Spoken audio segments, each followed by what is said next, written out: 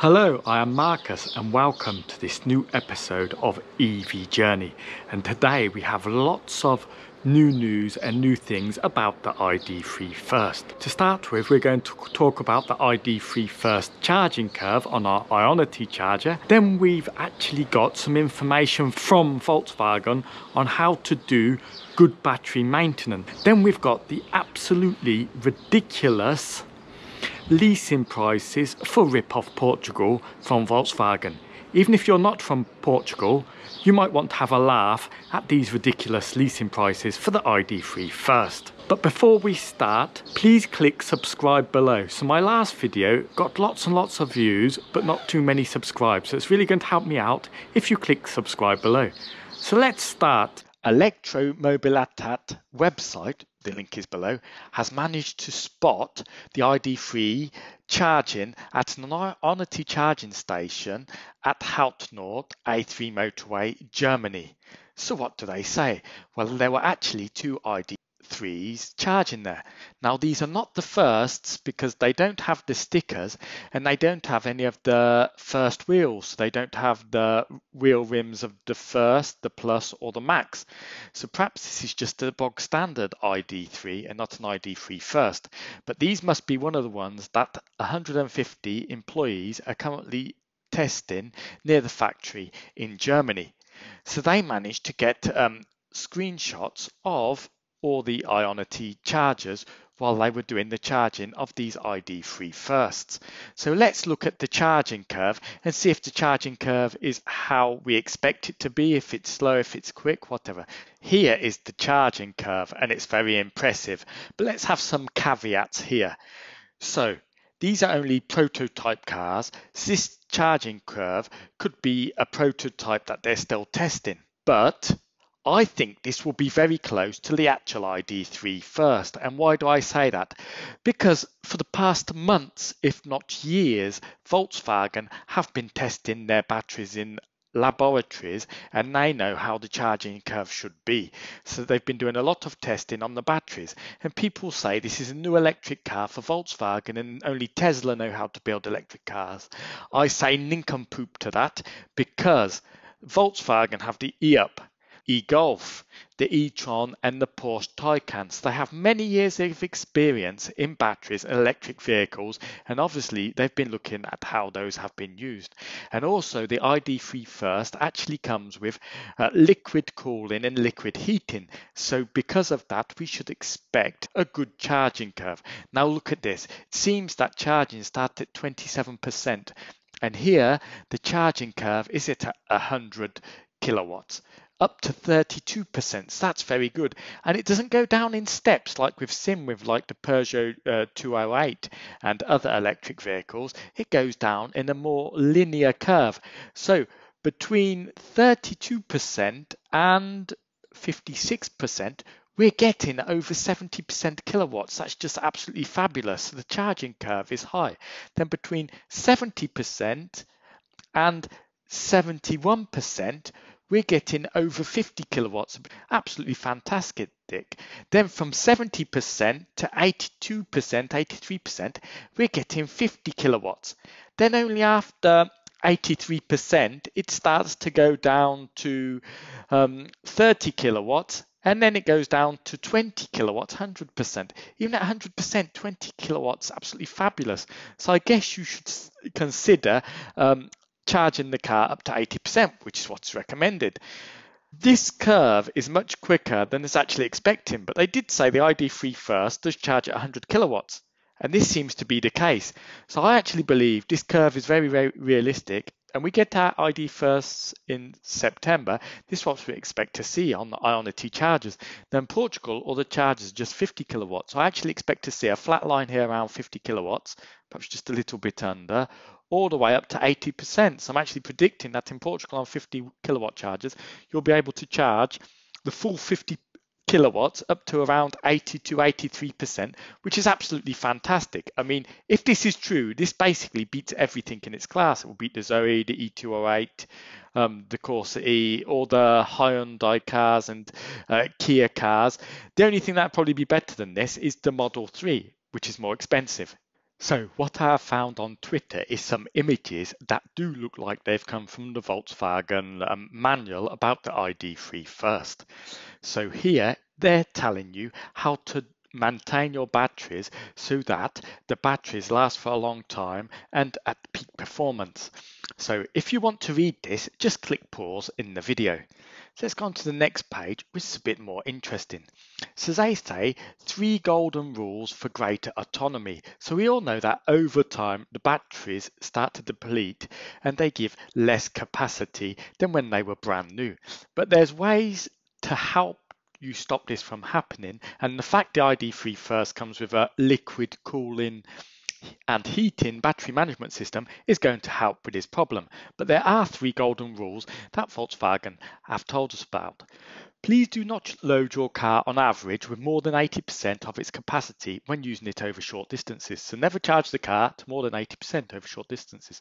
If the car is not used for more than 12 hours, then it must be loaded between 30 and 80% of capacity.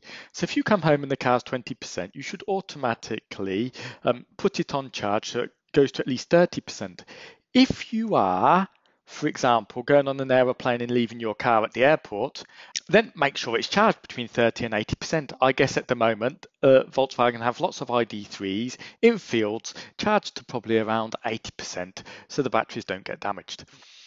The third golden rule is if you fully charge your car to 100%, use a charge time gauge found in the charge manager and then start immediately after the car is charged. So if you charge it to 100%, get in the car and drive it straight away. Never leave it for more than one or two minutes at 100% is what it's basically saying. So they've got something here which seems amazing and apparently you get it on the e-Golf.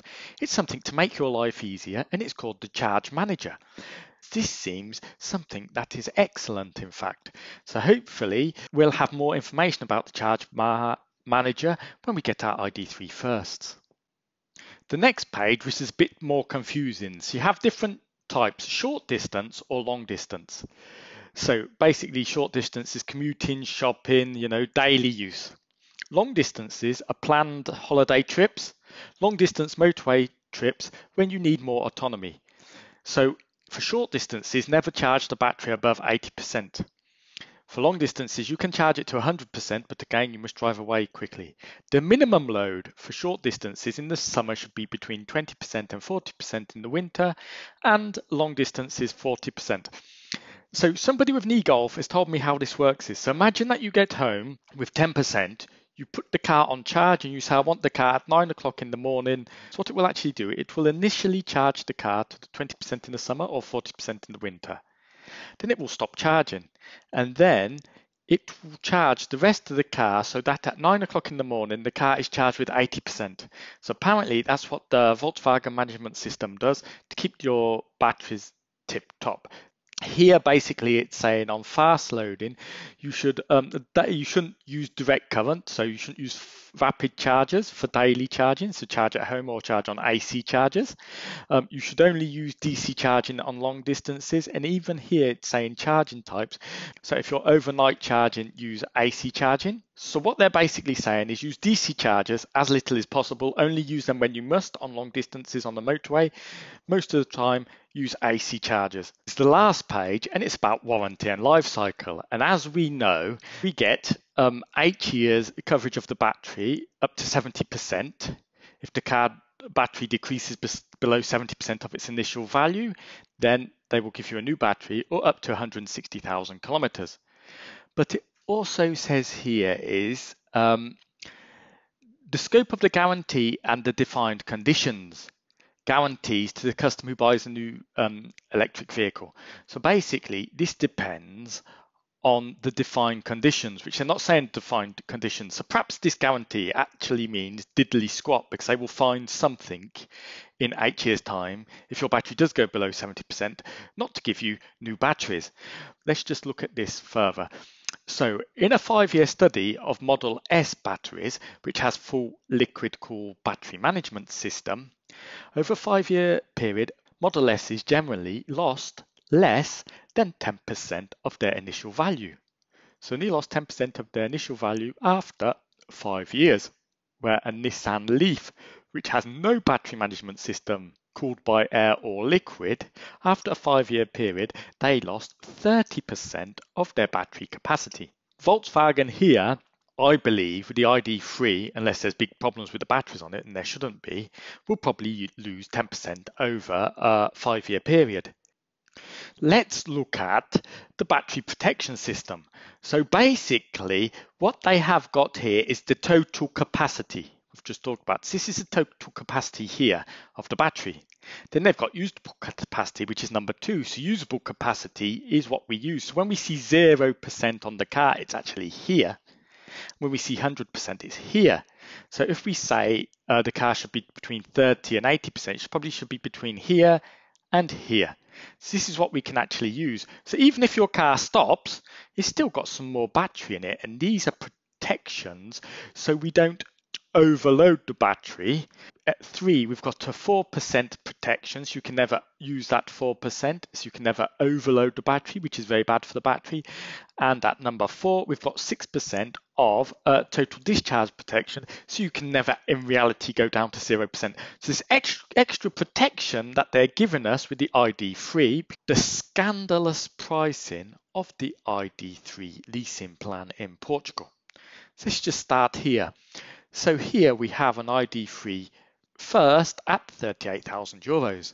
Just check here, e-Golf at 42,816 euros. I think they're not going to be selling too many e-Golfs now in Portugal when you look at the, the, the cheaper price of the ID3 first and a complete idiot would buy an e-Golf currently and not go for the ID3. So if we look down here, you can see the leasing plans. I just moved that over slightly. So for the ID3 first, a car that is around 40,000 euros, it's 565 euros per month. For package S, then you've got package M and package L. Let's just forget package M and package L. Let's forget about the plus and the max because they're even more expensive. Let's just concentrate on the first 40,000 euro car or 39,800 euros, well, 40,000 euros cars. So it comes with maintenance, the leasing plan. So that comes with a complete maintenance plan. So that's good. Let's just check some caveats here. So it's a 48 month contract. So you get four year um, maintenance plan, but you can only do 40,000 kilometers. So basically, this price is for 40,000 kilometers. That's 10,000 kilometers a year. Now, if you really only do 10,000 kilometers a year, you should perhaps look at getting the E up or something because uh, ID3 first for 10,000 kilometers a year is, is, is way over spec for what you would probably need. Almost anybody who's getting ID3 first will be doing over 10,000 kilometers a year. So that's the first scandal. I probably do 25,000 kilometers a year. So this is completely inadequate for me. So you get complete maintenance for four years.